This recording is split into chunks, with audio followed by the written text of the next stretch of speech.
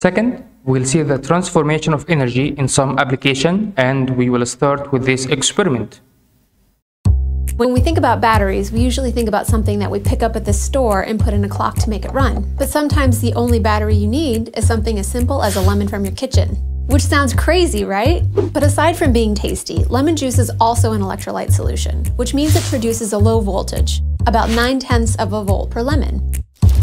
So if we wanted to light this 3 volt LED light, yep, we need 3 volts, so about 4 lemons to make it work. Now, to create the circuit, we'd also need some zinc-covered nails, some alligator clips, and some medium gauge copper wire, which you can get at a hardware store. Or you can use some of the leftover holiday lights stashed in the closet. The key thing is to create as conductive a circuit as you can. So once you've cleaned your copper wire and zinc nails to make sure they're more conductive, you'll stick a nail on one side of the lemon and a wire in the other side. Positive, negative. Do the same with three more lemons and set them up in a copper to zinc pattern so you can easily connect the alligator clips. And when you're ready to light your LED, fasten the copper side alligator clip to the longer positive end of the LED and the zinc side to the shorter negative end. And there it is, light! If your light's a little dim, go ahead and use a fresher lemon or use the same number of lemons to help you calculate a little math. Either way, if life gives you lemons, you don't just have to stick with lemonade. With this experiment, we conclude that the chemical energy stored in the lemon converted into electric energy as in the simple electric cell. And also, if you connect the lemon with a wire and wrap the wire around the compass, the needle compass will deflect under uh, the magnetic field produced by the electric current produced by lemon. And if, if a potato is used instead of a lemon, the needle of the compass will deflect where the salt solution in the potato has the same effect of acidic solution in the lemon.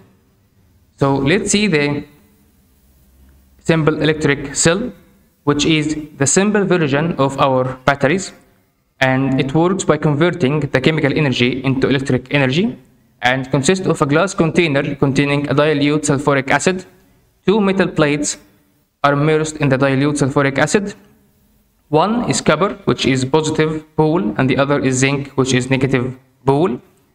The electric current passes from copper plate, the positive pole, to the zinc plate, which is negative pole. So let's see the experiment. Copper plate, zinc plate, wires and a bulb, and dilute sulfuric acid in a beaker. So now let's make one and see how it works. Take the zinc and copper plates and connect a wire to both of them like this. They will act as electrodes. Next, put the copper electrode and the zinc electrode into the acid. Make sure they do not touch one another. The bulb lights up. We can see that the bulb has started to glow although it is not connected to any external source of electricity. This shows that the setup So here we have these items, switch, battery and the lamp. What do you think will happen if we closed the circuit?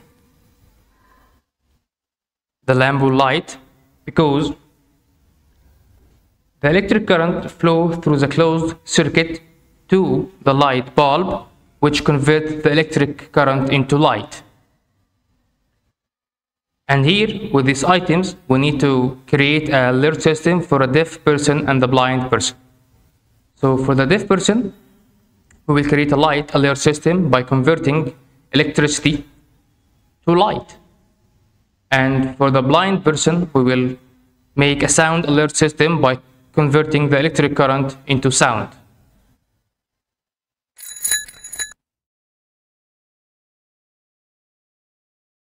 So now let's see the transformation of energy inside the cars.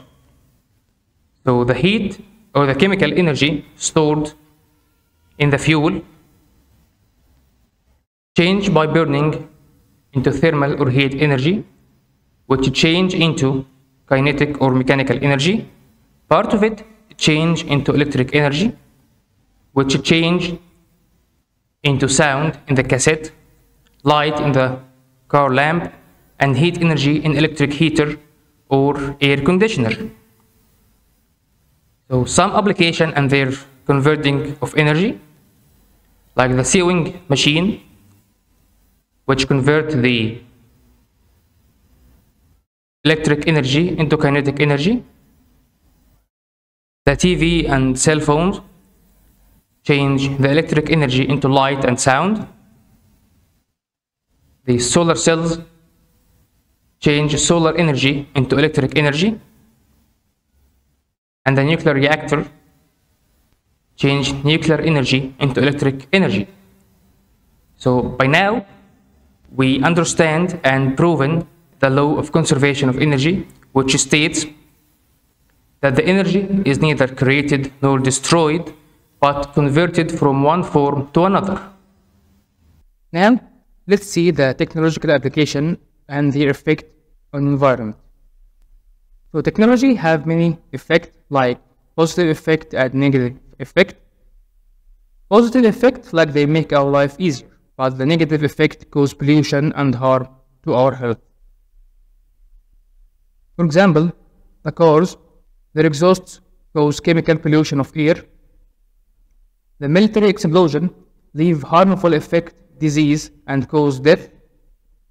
The chemical pesticide, they cause chemical pollution of soil, water, and air, and they cause cancer and food poisoning. The nuclear weapon, they cause massive destruction and cause cancer. The wireless network cause electromagnetic pollution. The loudspeaker cause noise pollution.